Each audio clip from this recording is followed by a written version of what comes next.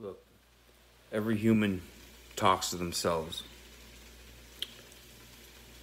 And whatever that voice is, you, your conscience, the point is I'm making is start talking nice to yourself. Understand that these words that you say to yourself every day very powerful. Give yourself some credit. You're still here. Give yourself a pat on the back. You're still going. You haven't given up.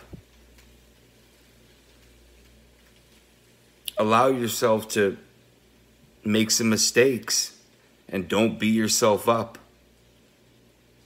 You're a human being.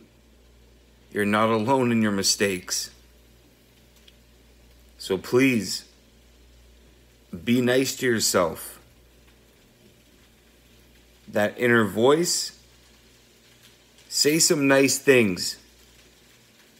Give yourself some damn credit. Because I believe in you. So believe in yourself.